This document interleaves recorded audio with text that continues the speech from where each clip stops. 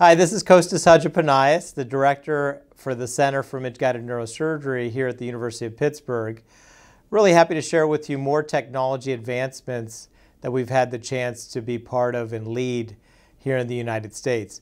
One of these is called fluorescence-guided surgery, which has really advanced the ability to resect malignant brain tumors uh, that our patients are afflicted by.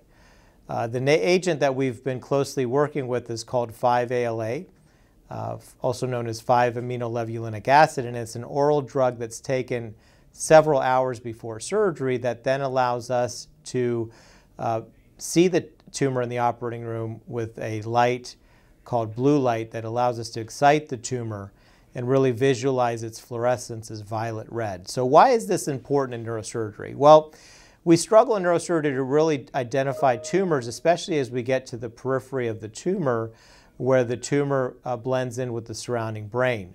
5-ALA fluorescence guided surgery has really advanced the ability for us to visualize that margin and really safely remove that tumor in a more complete fashion. And that's something that we've learned from large studies in the past that can impact patient outcomes.